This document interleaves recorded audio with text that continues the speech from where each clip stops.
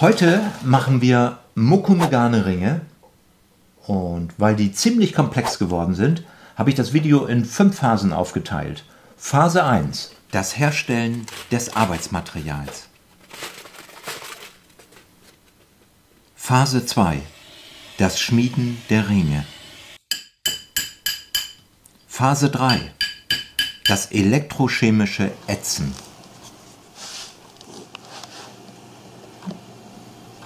Phase 4 Das Fassen der Brillanten und Phase 5 das Finish.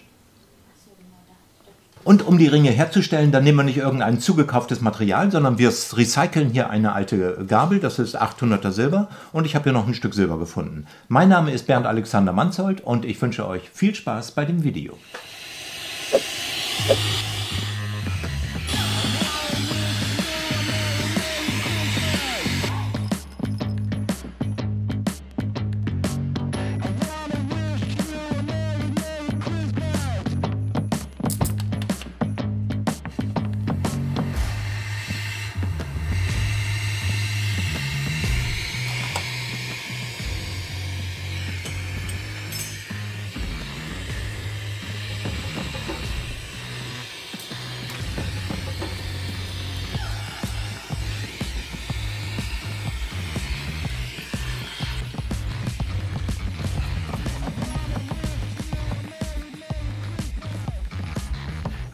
Für das Mokomegane verwende ich 800er Silber und Feinsilber.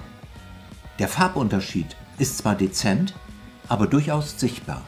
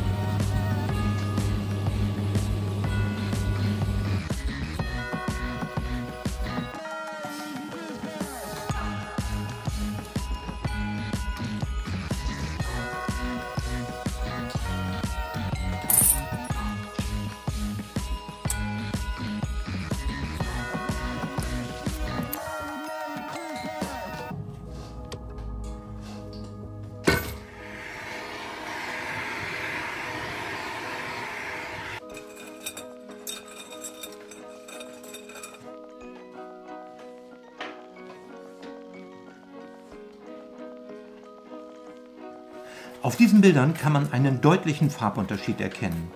Das liegt an der Wärmebehandlung und ist der Kupferoxidation in dem Material der Gabel geschuldet. Bei der weiteren Bearbeitung wird der Unterschied noch sichtbar bleiben, jedoch nicht ganz so ausgeprägt.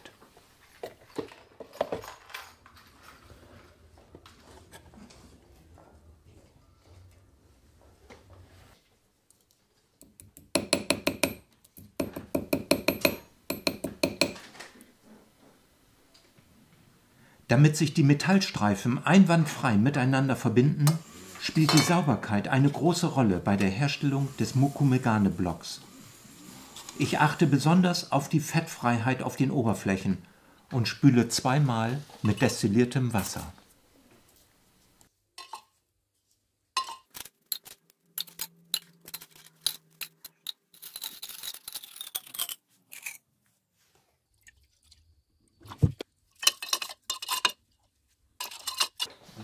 Hier nun erstmals der Farbunterschied ohne jeden chemischen Einfluss. Oben die 800er Silber-Kupfer-Legierung der Gabel, unten das strahlend weiße 1000er Feinsilber.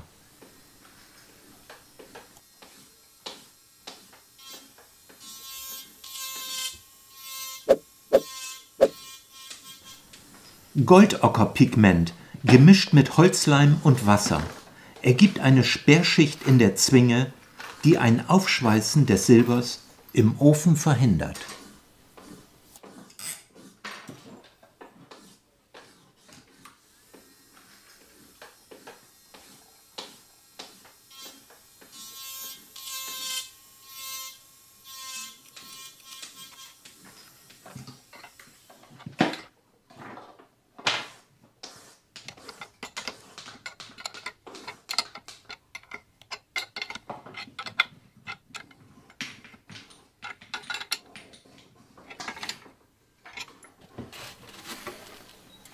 Aus einer dünnen Folie aus Edelstahl habe ich einen Beutel gefaltet, in den ich Aktivkohle fülle.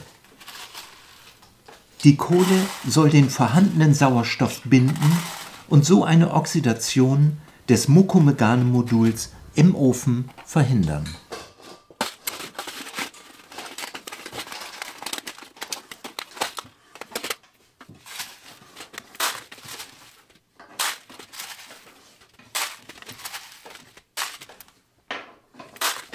Anschließend wird der Beutel möglichst luftdicht verschlossen.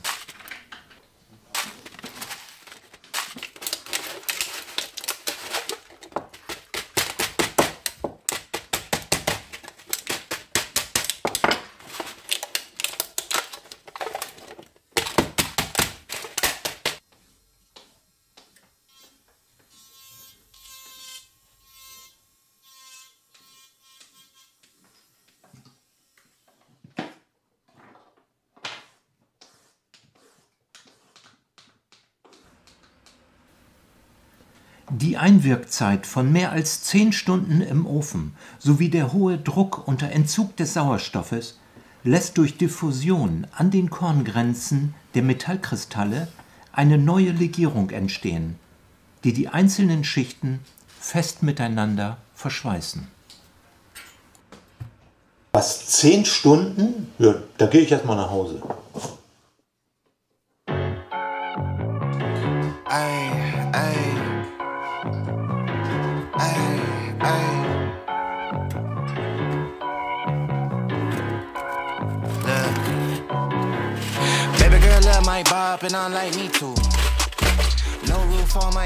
My base see through. Hating on the pen, don't stop, shit ain't gon' feed you.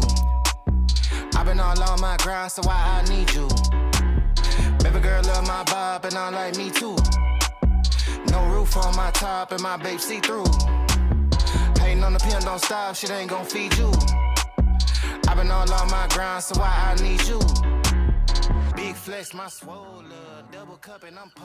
Wie es traditionell üblich ist, schmiede auch ich das Schichtmetall nach der Fusion. Bei diesen Ringen möchte ich meine selbstgebaute 10-Tonnen-Presse als Alternative versuchen.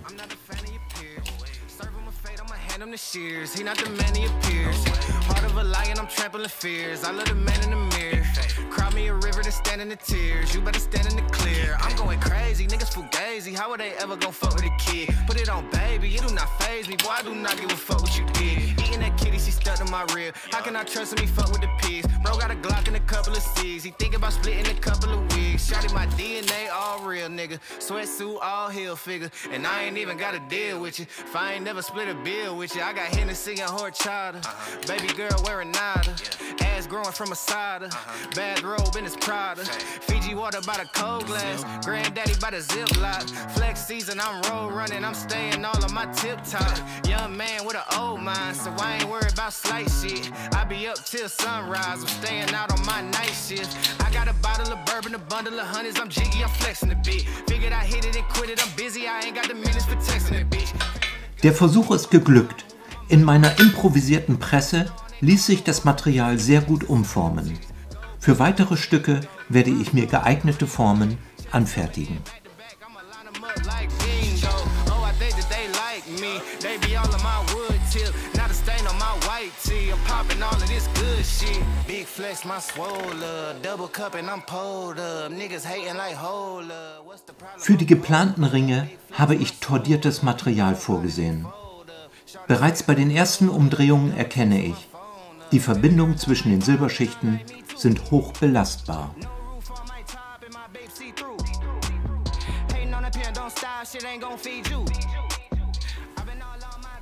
Lotfrei und ohne Schmieden ist die erste Phase meiner Arbeit abgeschlossen.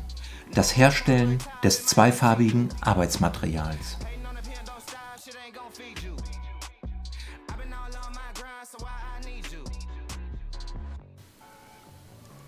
Ich werde die Ringe ohne Fuge aus einem Stück herstellen. Dazu durchbohre ich den Silberstab und säge zwei Schnitte innerhalb des Materials.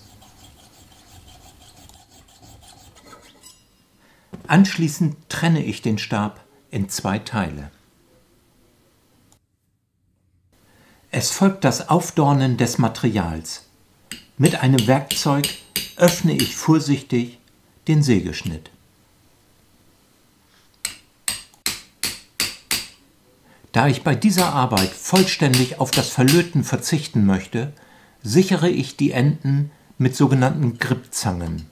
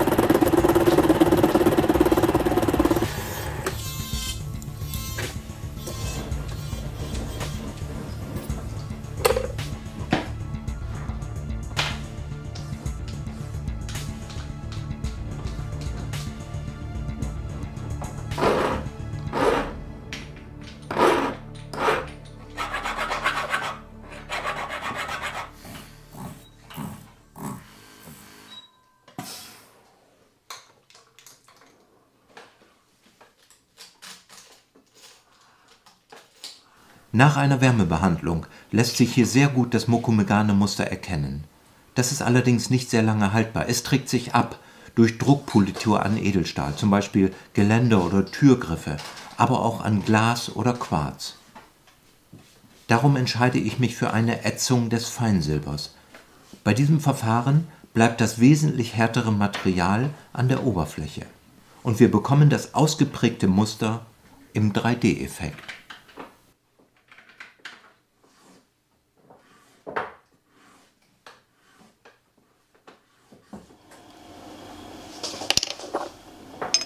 Dammervarnisch ist ein gutes Abdeckmedium, wenn es darum geht, Teile der Säure auf das Metall passieren zu lassen.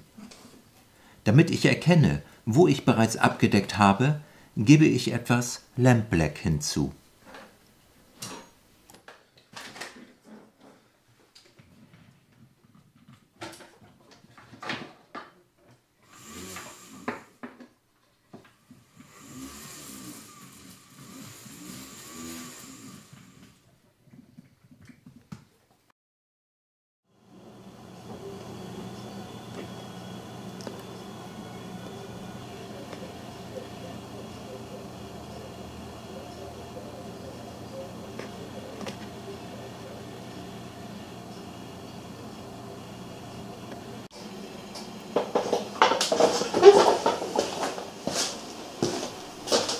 Während der Lack auf den Ringen trocknet, stelle ich das Material für das elektrochemische Ätzen zusammen.